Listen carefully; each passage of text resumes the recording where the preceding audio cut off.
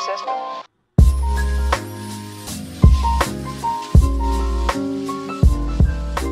What's up guys? It's me Mark with AC and welcome to another vlog. And for today's vlog guys, tayo ay pupunta sa Binondo, Manila. At kami no pinsan ko na si Erika ay magpo-food crawl no.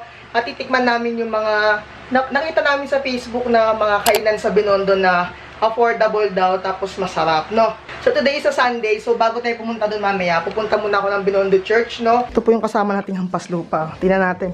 Ganda ka, Tignan ko yung wallet ko. Tagal, oh, di ba? Abala pa. Sa, paalam na ako eh. So, makikita nyo yung clips. Nasa, ano kami, Binondo na. Update. Dito na kami ngayon ni Erika sa Binondo. No? Dito kami sa may labas ng Binondo Church. Ito. Ayun. Gugutom ka na? Medyo. Alas 12 na kasi. Alas 12. 12.20 na eh. So, after neto, ah, pag nag-go na, kasi naka, ay kapag nag-ano na, pwede na kaming tumawid tapos punta na namin yung mga nilista namin na pwedeng kainan sa Binondo.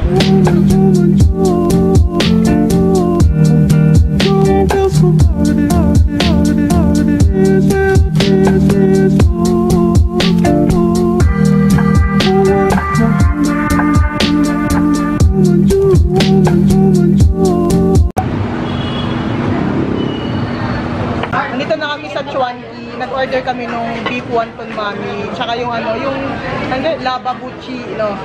So dito lang kami sa may malapit sa may counter kasi maraming tao kumakain ngayon. Kasi linggo, tsaka tsaka lunch, di ba? Sobrang daming tao. Pero sabi ni ate, dito nilang daw kami kasi Nagkitilan siya ka daw. mas mag- Paskas tayo.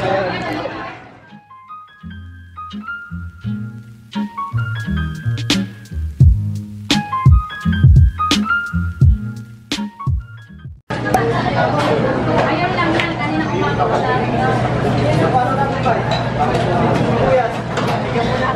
So titikman ko na yung ano, yung beef wonton mami.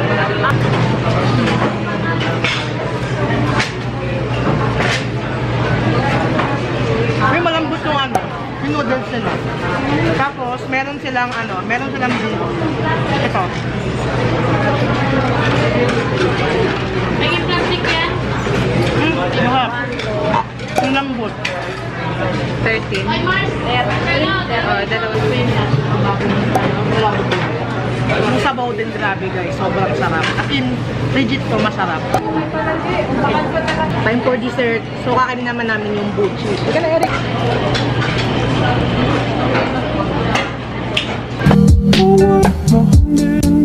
So guys, katapos na namin kumain dun sa Achuanki, sobrang worth it, sobrang sarap. So try nyo na rin. Update guys, no, mga antagal namin kumukuha ng litrato dito sa harapan ng Binondo, no.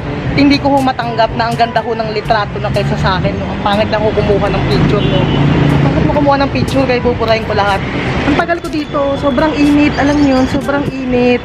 Tapos, ang itim-itim ko na lalo. Tapos, ang bakit niya kumuha talaga? Relate ba kayo? Yung maganda, magaling kayo kumuha, tapos yung kukuha ng retrato sa inyo, yung pangit-pangit kumuha. May ganun ba kayong kakilala? May ganun ba kayong kasama? No? Ayun, ang ganda sana. No? May alam mo yung mga pang-effect ng mga vloggers sa Instagram. Ganun eh.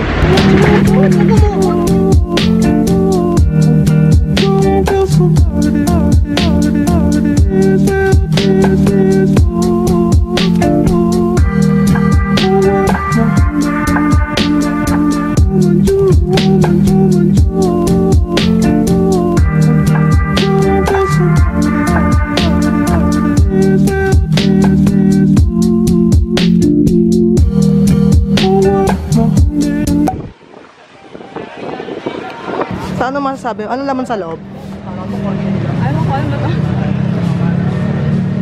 Hindi siopaw. Okay naman. Tapos, Mali lang lang. Wow!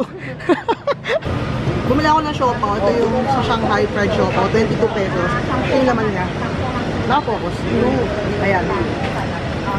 Gusto mo yun? Kunwari beauty vlogger. Ang laman niya, ano, yung karne, tapos parang may mga herbs sa loob. Masarap sa katulang sauce. At yun. Tapos malambot yung loob, pati yung loob malambot. Yan o. So guys, punta kami sa Carvajal Street. Nakalabas na kami ng Ong Team. Hanapin namin yung, meron doon lumpia eh. Nagtanong kami kay kuya, doon sa, basta lumpia dito sa may itinerary ko, no. Medyo busog na rin ako. dalawang restaurant pa lang, ay dalawang kainan pa lang yung napupuntahan namin, pero busog na busog na kami. Sobra. Ano na tong kasama ko, no? Sobrang busog na yan, eh.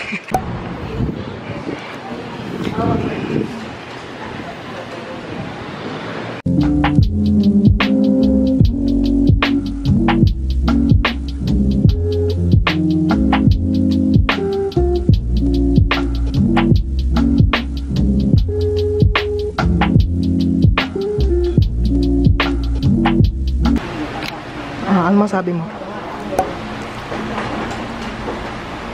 Bakit?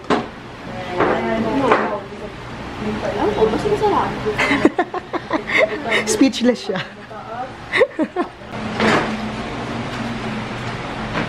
Lahat yung gulay niya. Tapos, merong mani. May mga maliliit na mani. Hindi ako gano'ng makita. Para, ayan.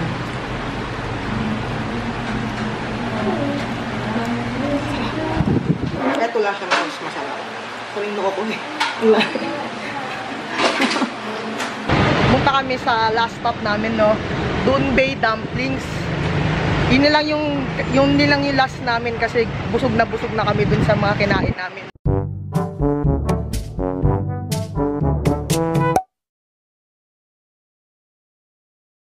Kami sa Lord's to. Kanina ko pa nahanap to eh. Dito na pala sa may tapat ng arko ng Manila Chinatown, no? Sa may tabi ng Mercury. Kung saan ako nagpipicture kanina. Grabe.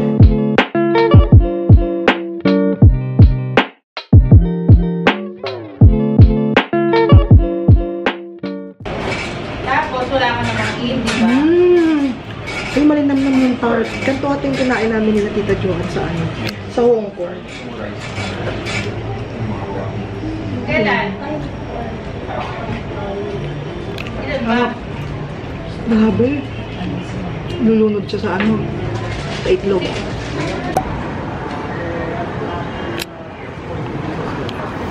Ayun to.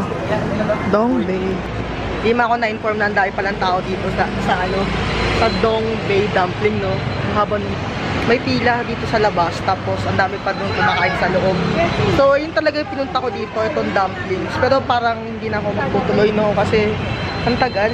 hindi kasi ako ma, ano, maghintay. Pumunta nilang kami sa Lucky Chinatown. Total, ayun naman, na tatawid nilang kami. Susunod na siguro ako magda-dumpling, no? Kasi tagal pa eh, kapapasok lang daw ng mga kumain. Kapapasok lang daw ng mga kumakain. So baka mamaya pa yung ano, yung matapos yung mga yun. Punta nilang kami dyan sa Lucky Chinatown. May daanan dito sa gilid. Ayun, oh. May munting daanan. Oh, ang ganda. Tapos, ang tagos mo dun sa Lucky Chinatown Mall. Sayang di na kami naka, nakakain dun sa Dongbei. Yun pa naman yung nihintay ko na kainan namin. Hinuli ko talaga yun. Pero, okay lang kasi wala naman din tayong magagawa. Ang dami-daming tao na kumakain dun. Kasi di ba masarap? Masarap kasi pag ganun. Sa akin na, ganun yung para sa akin na masarap yung restaurant or kainan. Maraming kumakain. Hindi siya natating.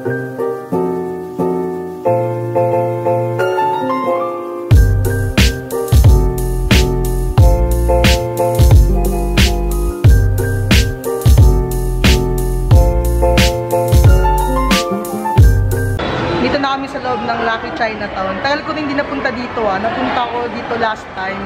College pa ako. Third year ato, second year. Nung mga, nung mga may shooting days kami sa sa college, no. Na, napapadaan kami dito nung mga klase ko after namin mag-shoot sa mga documentary namin.